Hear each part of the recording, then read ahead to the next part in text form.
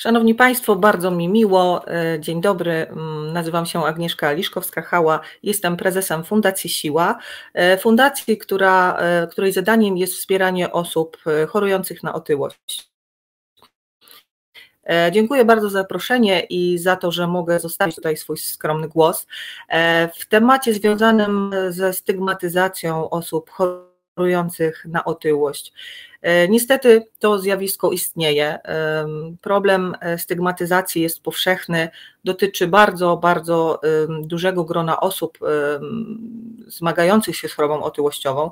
I chciałabym w Państwu zostawić kilka takich przemyśleń e, z taką wiarą i nadzieją, że, tak jak powiedziałam, zostanie to w nas i spowoduje, że sytuacja ulegnie poprawie, że będziemy w stanie Mm, więcej rozumieć, bardziej wspierać, e, nie oceniać i przede wszystkim nie stygmatyzować. E, ja jestem również pacjentem mm, chorującym na otyłość. Jestem osobą, która zawsze była osobą aktywną fizycznie, zawodowo zajmuję się organizacją imprez kulturalnych, natomiast e, z pasji, z zamiłowania jestem też trenerką fitness. E, prowadzę e, grupy kobiet i, wspieram je w różnej drodze o swoje zdrowie i, i, i życie. Natomiast no, znalazłam się też w grupie osób, których ta choroba dotknęła. Mm. To, z czym mierzę się do tej pory i to, co obserwuję do tej pory, e, to przede wszystkim to, że cały czas e, bardzo, bardzo wiele osób nie ma świadomości, że otyłość jest chorobą.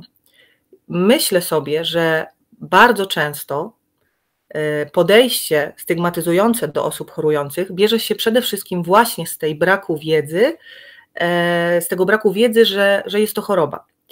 Y, wierzę, że wszystkie działania, które są podejmowane również y, w ramach na przykład kampanii Porozmawiajmy szczerze o otyłości, w której już od kilku lat biorę aktywnie udział, y, idą w słuszną stronę, czyli zmierzają w stronę edukowania pacjentów, przyszłych pacjentów i całego otoczenia, również otoczenia medycznego, lekarskiego, jak ważne jest wspieranie osób, y, które chorują i jak ważne jest cały czas uświadamianie, że otyłość jest chorobą, bo to jest właśnie ten początek e, tego, co dzieje się mm, w naszych myślach w momencie, kiedy zdajemy sobie sprawę, że jednak jest to choroba.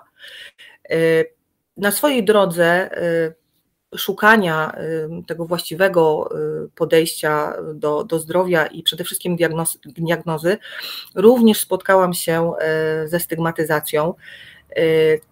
Często słyszałam określenia od osób mi dosyć bliskich, od koleżeństwa, jak to jest możliwe, że tak bardzo, że tak bardzo przytyłaś, przecież ty się tyle ruszasz. Było jeszcze wiele, wiele innych stwierdzeń, których nawet nie chcę przytaczać, bo, bo są bardzo raniące. Natomiast doświadczyłam na sobie tego, e, że ta stygmatyzacja istnieje. Potem spotykając się już z kolejnymi pacjentami, e, słyszałam też o podobnych historiach, nawet bardziej dramatycznych. E, chociażby słyszałam taką historię, kiedy pacjentka mm, przychodząc do gabinetu lekarskiego dostała informację, co pani ze sobą zrobiła, jak można się było tak spaść. Bardzo przepraszam za to określenie, ale chciałabym, żebyśmy właśnie dobitnie usłyszeli, e, z czym się mierzymy. Mm.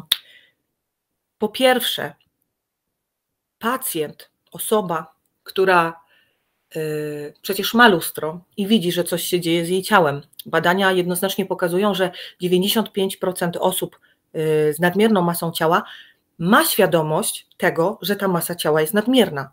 W związku z tym mają tą informację i nie trzeba im tego przypominać i podkreślać, że jest ich po prostu więcej.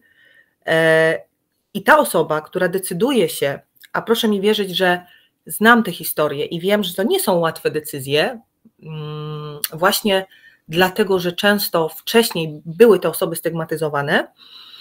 Mm, kiedy ona trafia już do gabinetu lekarskiego, kiedy postanawia coś zrobić, zawalczyć o to swoje zdrowie, e, to tak szalenie ważne jest to, jakie otrzyma wsparcie y, od osób, które są wokół, od rodziny, od y, przyjaciół, od personelu medycznego, ponieważ w momencie, kiedy zostanie zniechęcona, w momencie, kiedy będzie czuła się osobą winną tej sytuacji, w której się znalazła, proszę mi wierzyć, znam takie historie, ta osoba już nie zrobi kolejnego kroku. I tu się kończy ta historia. I to jest to, co bardzo mnie porusza, i to jest też to, co powoduje, że tak bardzo chciałabym, żeby ta edukacja wpływała na to, że świadomość jest większa, a tym samym ten proces stygmatyzacji zanika. To jest moje takie wielkie marzenie. Y, proszę pamiętać, że choroba otyłościowa nie jest ani wyborem, ani winą chorego. Y, człowiek ma chorobę, a nie jest chorobą. Y, to zwraca mu szacunek w tym, co do niego mówimy.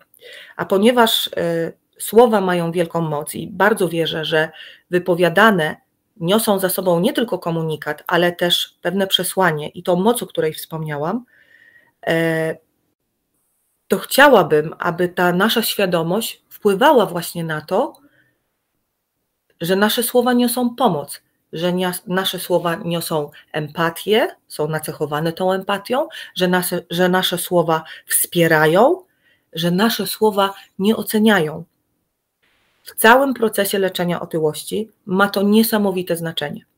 Osoby chorujące na otyłość są bardzo często zniechęcone, nie widzą celu dalszego działania, czują się winne, niestety czują się nękane, hmm, hejtowane. Badania też jednoznacznie pokazują, że ten, ta stygmatyzacja, ta dyskryminacja osób chorujących na otyłość odbywa się na wielu, na wielu płaszczyznach.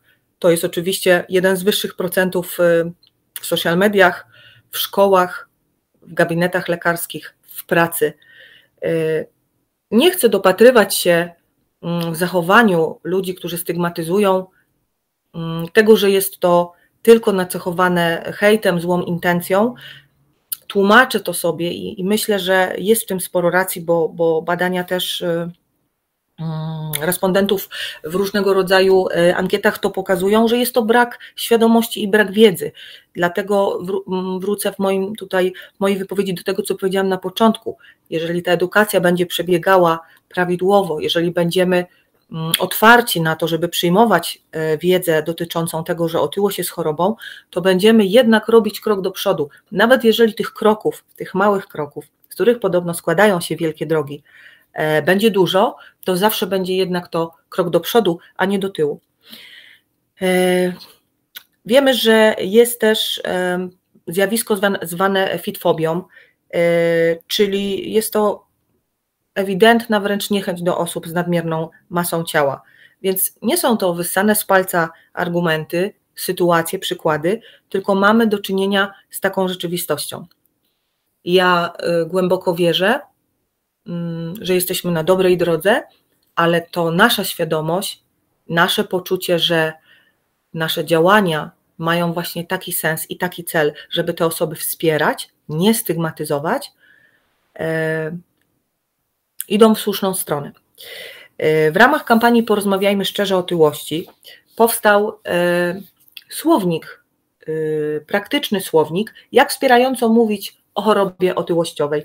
Zachęcam Państwa do tej lektury, bo wydaje nam się często, że, że mamy tą świadomość i sporo wiemy, a jednak myślę, że pewne informacje nas bardzo zaskoczą. Na stronie otyłości.pl Państwo ten słownik odnajdą i zachęcam, ponieważ wiele kwestii jest bardzo fajnie wytłumaczonych. Pracował na tym sztab specjalistów, lekarzy, psychologów, pacjentów E, I, I, myślę, że jest to również osób z mediów, więc myślę, że jest to bardzo ciekawa pozycja, bardzo ciekawa lektura. I jest to też narzędzie, kolejne narzędzie do, do tej wspomnianej wcześniej edukacji. E, często w, w różnych publikacjach, w wywiadach jestem pytana, jak sobie pani radziła, jak sobie pani dawała radę e, z tym, że ktoś stygmatyzował i oceniał. No, powiem szczerze, że to chyba jest jedno z większych wyzwań Y, osób, które chorują na otyłość, mm, właśnie dawać sobie radę, bo ciężko jest dawać sobie radę w momencie, kiedy tego wsparcia się nie czuje, w momencie, kiedy czuje się, że mm, otoczenie buduje narrację oceniającą, buduje narrację stygmatyzującą, buduje narrację związaną z tym, że pacjent, ja odbierałam to, że jest to moja wina, że mam to na własne życzenie, bo przecież, uwaga, bardzo popularne zdanie, którego nie znoszę, ale myślę, że ono zostawia w nas też bardzo wiele i zmusza do refleksji, no przecież wystarczy więcej się ruszać i mniej żreć.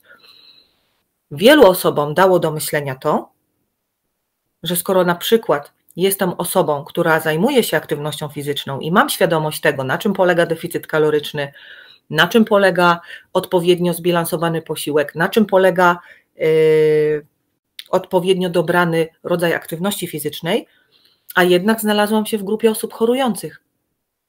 W moim organizmie zadziało się wiele rzeczy, które zadziały się poza mną.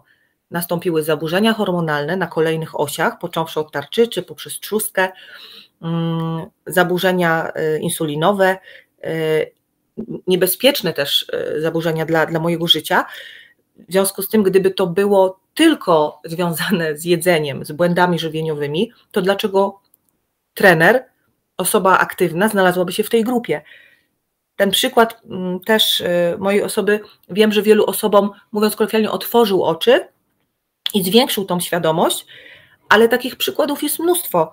I jeżeli statystyki mówią, że co czwarty y, Polak choruje na otyłość, ponad 2 y, miliardy ludzi na świecie choruje na otyłość, to mamy, proszę Państwa, do czynienia z bardzo poważną sytuacją. I to naszym zadaniem jest, aby robić wszystko, żeby ta sytuacja y, ulegała poprawie. Głęboko wierzę, że również takie konferencje, takie spotkania e, mają nam dawać siłę i motywację do dalszego działania i do tego, żeby tą sytuację poprawiać. Ogromny apel: nie stygmatyzujmy, nie oceniajmy, wspierajmy. Więcej empatii, tak naprawdę w każdej dziedzinie życia, ale ponieważ dzisiaj mówimy tutaj o otyłości, to apeluję do Państwa y, o większą wrażliwość. Y, Ktoś kiedyś powiedział, że żeby zmieniać świat, trzeba zacząć od siebie. Więc zaczynajmy od siebie i, i myślę, że pójdziemy w dobrą stronę. Yy, a to na pewno obecnym i przyszłym pacjentom da dużo siły i motywacji do działania, yy, a przede wszystkim doprowadzi ich do zdrowia. Otyłość jest chorobą o bardzo złożonej patogenezie. Yy, składa się na nią wiele czynników u każdego jest to sprawą indywidualną. Nie ma jednego mustra, dlaczego ktoś zachorował na otyłość. Są czynniki, które są wspólne czasami, jest to wspólny mianownik, ale tak naprawdę u każdego są to inne przyczyny. Jest to choroba śmiertelna, choroba bez tendencji do samoistnego ustępowania, więc dająca też mnóstwo powikłań, bardzo poważnych, zdrowotnych. To jest też kwestia naszej odpowiedzialności nie tylko za drugiego człowieka, ale za cały system ochrony zdrowia i tego, że w pewnym momencie ilość powikłań powodowana y, nieleczeniem otyłości, brakiem świadomości o tym, że otyłość jest chorobą, brakiem wspierania pacjentów, którzy bez tego wsparcia nie trafią do gabinetów lekarskich i nie uzyskają pomocy, e, powoduje, że te statystyki będą rosły, a system ochrony zdrowia tego nie udźwignie, a konsekwencje odczujemy wszyscy. Dlatego zachęcam wspieram. Zostawiam Państwa jeszcze raz ze zdaniem, które podsumuje moją wypowiedź. Otyłość nie jest ani winą, yy, ani wyborem chorego. Yy, naprawdę nikt nie chce na nic chorować, a tym bardziej na otyłość, która utrudnia codzienne funkcjonowanie. Każdy chce się czuć dobrze w swoim ciele, więc nie stygmatyzujmy, wspierajmy, pomóżmy osobom chorującym znaleźć się w tej rzeczywistości, która, proszę mi wierzyć, nie jest łatwa, ale zrobić ten pierwszy krok, krok w drodze do swojego zdrowia, ze świadomością, że nie jest się z tym tematem samemu i że jest nadzieja na to, że będzie nam się żyło lepiej, nam pacjentom. A jeżeli nam pacjentom, to też naszym rodzinom, naszym koleżankom z pracy, bo będziemy po prostu szczęśliwszymi ludźmi, zdrowymi ludźmi zdrowszymi ludźmi. Życzę wszystkim dużo zdrowia.